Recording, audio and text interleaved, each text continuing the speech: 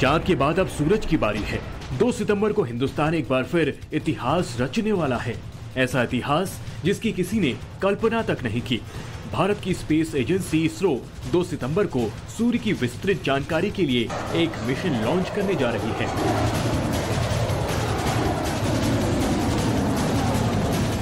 Mission का नाम है आदित्य एल वन।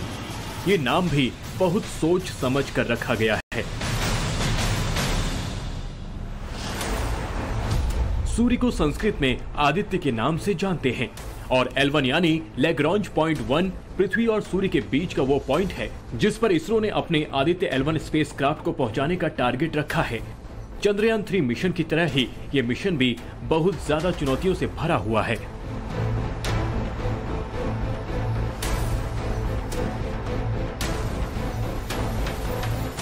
टेम्परेचर भी काफ़ी होगा। और यहाँ तक कोरोना का तो टेम्परेचर करोड़ डिग्री तक पहुँच जाता है।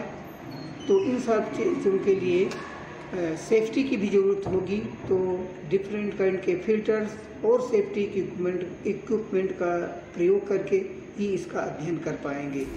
इसरो के सोलर मिशन के तहत आदित्य एल को लेग्रॉन्ज पॉइंट वन पर प्रक्षेपित किया जाएगा। इसरो का आदित्य एल अपने साथ सात पेलोड लेकर उड़ान भरेगा। और इसमें विजिबल एनिमेशन लाइन क्रोनोग्राफ भी होगा। इस मिशन का मुख्य उद्देश्य सूर्य के कोरोना यानी प्रभामंडल का अध्ययन करना होगा। प्रभामंडल का मतलब है सूर्य के चारों ओर दिखाई देने वाला प्रकाश। अब सोचिए कि जो सूरज आग का एक धधकता गोला है, जिसके रहस्यों से पूरी दुनिया अनजान है, इसरो का आदित्य एलवन उसके एक एक राज से पर्दा उठाएगा। आपको बता दें कि पृथ्वी से सूर्य की दूरी करीब एक करोड़ साठ लाख किलोमीटर है। जबकि पृथ्वी से एलवन पॉइंट की दूरी करीब पंद्रह लाख किलोमीटर है। यानी आदित्य एलवन को अपनी निर्धारित जगह तक पहुँचने के लिए 15 लाख किलोमीटर का सफ़र तय करना पड़ेगा और इस दूरी को तय करने में उसे करीब चार महीने लगेंगे। आदित्य एलवन को स्थापित करना है। वो 15 लाख किलोमीटर दूरी है और वहाँ पर उसको स्थापित करने से इक्लिप्स का कोई फ़र्क नहीं पड़ेगा। अदरवाइज़ और कोई डिस्टेंस होती तो उसमें जो कि पृथ्वी और चंद्रमा के बीच में पड़ती तो उसमें इक्लिप्स का फ़र्क पड़ जाता था और थ्री टू वन ज़ीरो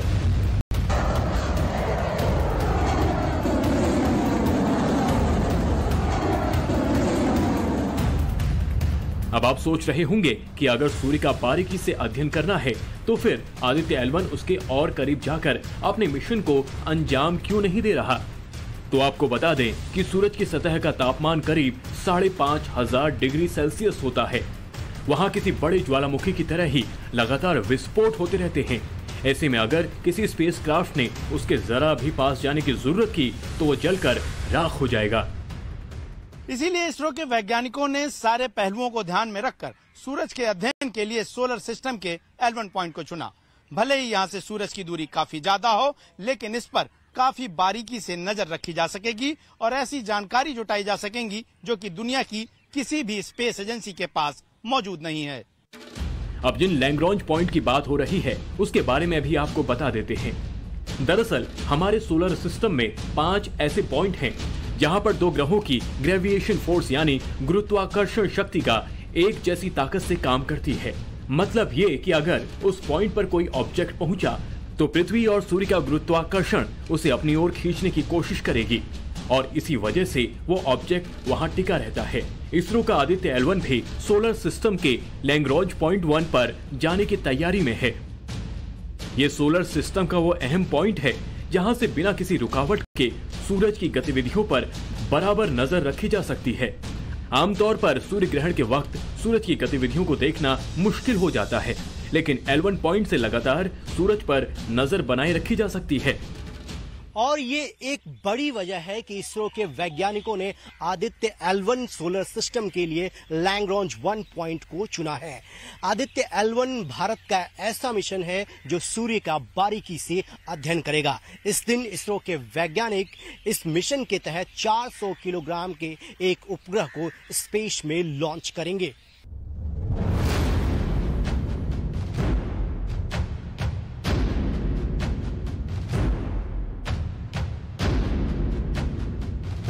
और इसी के साथ एक बार फिर अंतरिक्ष में भारत नई इबारत लिख देगा। अब आपको सिलसिलेवार तरीके से सोलर सिस्टम के पाँचों पॉइंट के बारे में समझाते हैं। आखिर क्यों इन्हीं पाँच पॉइंट पर ही कोई देश अपना स्पेस क्राफ्ट भेज सकता है? ये सोलर सिस्टम के पाँच पॉइंट हैं। पृथ्वी के एक ओर L1 और दूसरी तरफ़ है L2 L2 point L1 point के ठीक विपरीत दिशा में है। L1 पॉइंट सूरज के ठीक पीछे है और अभी तक इस पर पहुँचने की हिम्मत कोई भी देश नहीं जुटा पाया। L4 और L5 पॉइंट सूरज के दाहिनी ओर और बाईं ओर है, जो एक तरह से स्टेबल पॉइंट माने जाते हैं। इसका मतलब यह है कि अगर L4 और L5 पॉइंट पर कोई स्पेस क्राफ्ट गया तो वहाँ आसानी से सूर्य के चक्कर लगा सकता है। हालाँकि इसरो फ़िलहाल L1 पॉइंट के लिए अपना मिशन लॉन्च कर रहा है। आदित्य मिशन की सफलता के बाद इसरो की नज़र सोलर सिस्टम के एल थ्री पॉइंट पर है। ये वो जगह है जिसे देख पाना लगभग नामुमकिन है। जिस तरह से चाँद के साउथ पोल के बारे में भारत के मिशन मून से पहले कोई भी जानकारी उपलब्ध नहीं थी, उसी तरह से सोलर सिस्टम के एल थ्री पॉइंट के बारे में भी दुनिया की किसी भी स्पेस एजेंसी के पास कोई भी जानकारी उपलब्ध नहीं है।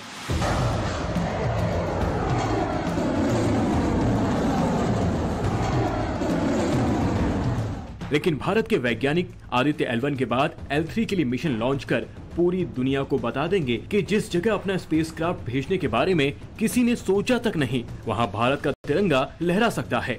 फ़िलहाल इसरो का पूरा ध्यान आदित्य एलवन पर है। सूरज के अध्ययन के लिए आदित्य एलवन को ताकतवर पीएसएलवी रॉकेट के ज़रिए लॉन्च किया जाएगा। ये स्पेसक्राफ्ट अपने साथ सात पेलोड लेकर उड़ान भरेगा। इसमें सबसे अहम होगा सूट, यानी solar ultra ultraviolet imaging telescope, जो सूरज के फोटोस्फीयर और क्रोमोस्फीयर की इमेजिंग करेगा। इसके अलावा solar low energy x ray spectrometer वहाँ से निकलने वाली सॉफ्ट एक्सरे किरणों की स्टडी करेगा। वहीं हार्ड एक्सरे किरणों की स्टडी के लिए स्पेसक्राफ्ट में अलग से एक पेलोड भेजा जाएगा। सूरज पर चलने वाली हवाओं प्रोटॉन्स भारी आयन की दिशाओं की स्टडी के लिए एपेक्स नाम का पेलोड भेजा जाएगा। इसके अलावा सूरज के चारों तरफ़ जो मैग्नेटिक फ़ील्ड है, उसके बारीक अध्ययन के लिए आदित्य एल्वन में एक अलग से पेलोड भेजा जाएगा। एक और अहम बात आपको बता दें कि आदित्य एल्वन में एक ऐसा कैमरा लगा होगा जो सूरज की एचडी फ़ोटो भेजेगा।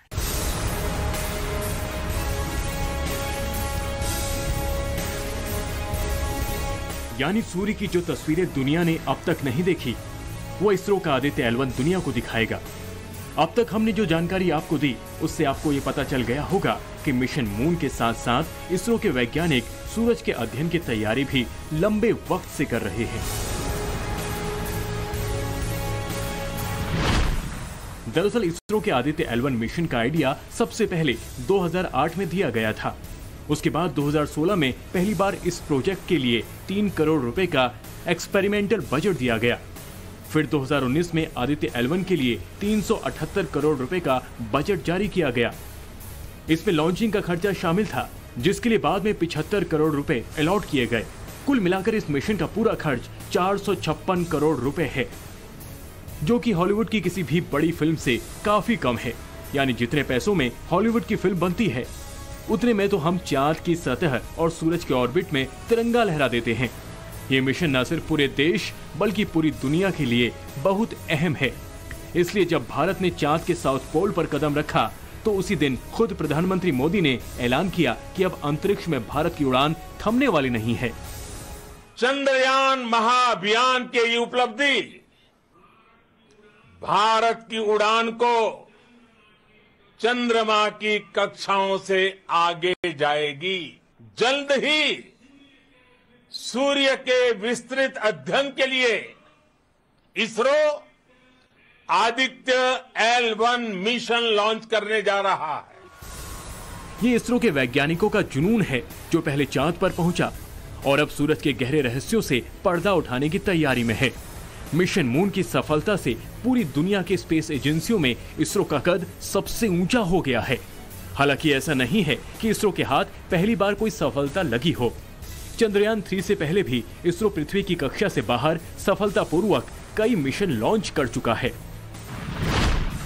22 अक्टूबर 2008 को इसरो ने चंद्रयान वन मिशन लॉन्च किया था, जिसने चाँद पर हार्ड लैंडिंग की थी और चाँद की सतह पर पानी की खोज की थी। इसके बाद 5 नवंबर 2013 को इसरो ने मंगल ग्रह के लिए मार्स ऑर्बिट मिशन लॉन्च किया। फिर 22 जुलाई 2019 को चंद्रयान 2 को सफलतापूर्वक पृथ्वी की कक्षा से चाँद के लिए लॉन्च किया गया। और उसके बाद 14 जुलाई को ऐतिहासिक चंद्रयान 3 मिशन को लॉन्च किया गया, जिससे चाँद के साउथ पोल पर सॉफ्ट लैंडिंग कर नया इतिहास रच दिया। और अब सबको इंतज़ार है 2 सितंबर का, जब इसरो अपना सोलर मिशन लॉन्च करेगा। श्री हरिकोटा के सतीश धवन स्पेस सेंटर से आदित्य एलवन को लॉन्च किया जाएगा।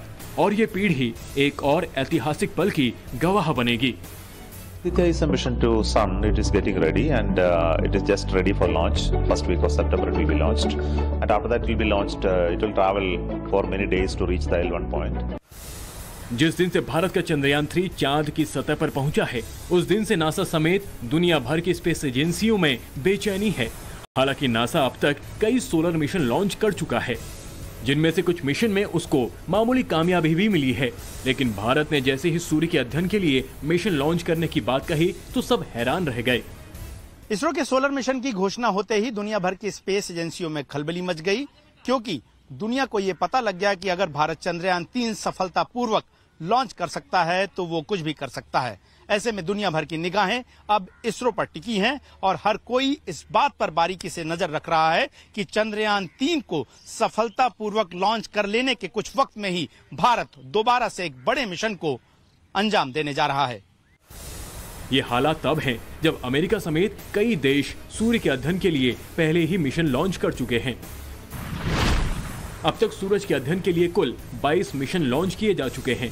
ये mission America, Germany, European space agency ने भेजे हैं। इनमें कुछ मिशन फेल रहे, जबकि कुछ में मामूली कामयाबी मिली। सबसे ज़्यादा मिशन अमेरिका की स्पेस एजेंसी नासा ने भेजे हैं। नासा के सबसे पहले सोलर मिशन का नाम था पायनीर 5 ये साल 1960 में लॉन्च किया गया। जर्मनी ने अपना सबसे पहला सोलर मिशन नासा के साथ मिलकर 1974 में लॉन्च किया। इसके बाद यूरोपियन स्पेस एजेंसी भी नासा के साथ मिलकर अपना पहला सोलर मिशन उन्नीस सौ चौरानबे में भेजा। नासा ने अकेले 14 मिशन सूर्य के अध्ययन के लिए भेजे, जिनमें 12 मिशन सूरज के ऑर्बिट के हैं, यानी वो सूरज के चारों ओर चक्कर लगा रहे हैं। 2018 में नासा ने सूरज के लिए अपना सबसे अहम Parker solar probe mission launch किया। नासा का दावा है कि उसका पार्कर सोलर प्रोब अब तक 26 बार सूरज के करीब उड़ान भर चुका है। और नासा का ये दावा भी है कि पार्कर सोलर प्रोब सूरज के इतने करीब जाने वाला सबसे पहला मिशन है। इसे नासा बड़ी कामयाबी मानता है। इससे पहले 2001 में नासा ने जेनेसिस मिशन लॉन्च किया था। सूरज का चक्कर लगाते हुए सौर हवाओं का सैंपल जुटाने के मकसद से उसे लॉन्च किया गया था। उसने सैंपल जुटाए और पृथ्वी की तरफ़ लौटा, पर पृथ्वी पर उसकी क्रैश लैंडिंग हुई। हालाँकि नासा ने दावा किया कि क्रैश होने के बावजूद उसने काफ़ी सैंपल कलेक्ट कर लिए थे। उस वक्त जेनेसिस की क्रैश लैंडिंग ने नासा को बहुत बड़ी चिंता में डाल दिया था। हालाँकि नासा की चिंताएँ एक बार फिर बढ़ गई हैं, क्योंकि चंद्रयान थ्री की चाँद के साउथ पोल पर सफल लैंडिंग के लिए केवल 10 दिनों के अंदर इतना बड़ा मिशन लॉन्च करना किसी चुनौती से कम नहीं है। लेकिन इसरो के वैज्ञानिकों के लिए अब कोई भी चुनौती मुश्किल नहीं है। वो चाँद को फतह कर चुके हैं और अब बारी है सूरज की। हर किसी को अब दो सितंबर का इंतज़ार है।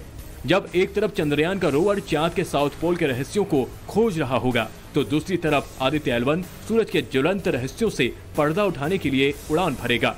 उस दिन एक बार फिर सारी दुनिया की नज़रें हिंदुस्तान पर टिकी होंगी।